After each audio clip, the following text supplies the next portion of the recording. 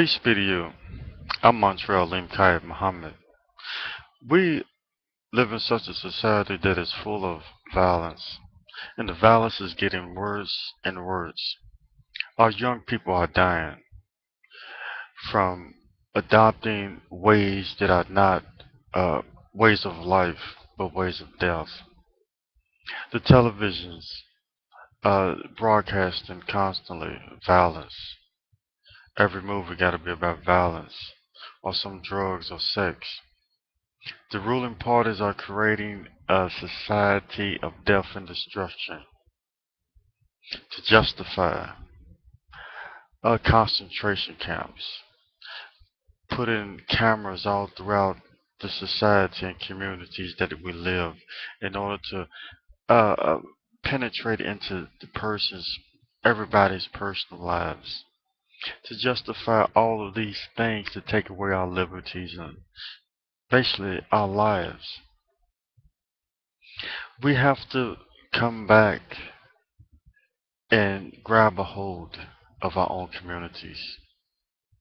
We have to go back to the old school ways where it was community life, family life, where there were uh, uh, less violence. If we do not, then Satan will grab a hold of our children, grab a hold of the lives of our young people, and we will diminish and, and be and perish as a people. We're in dire circumstances. We're in very bad times. Though the media may make you think that it's good times.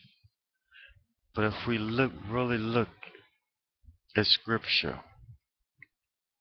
if we look and see what's going on today, we know that we are in some terrible times. And it's destruction after destruction.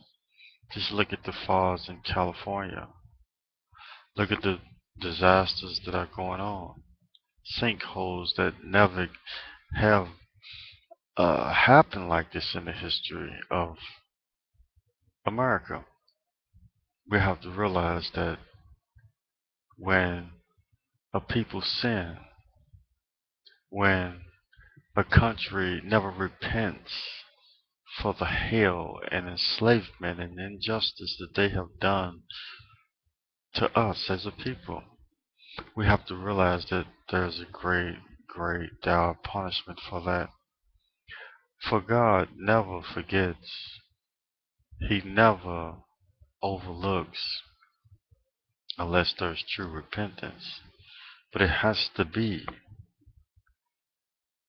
a reward or punishment for every action.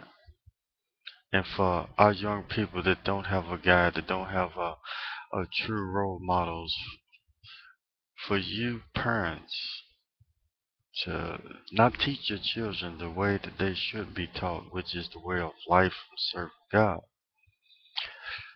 You got to get unbusy and realize that we are dying and being annihilated as a people. As I greet you in peace.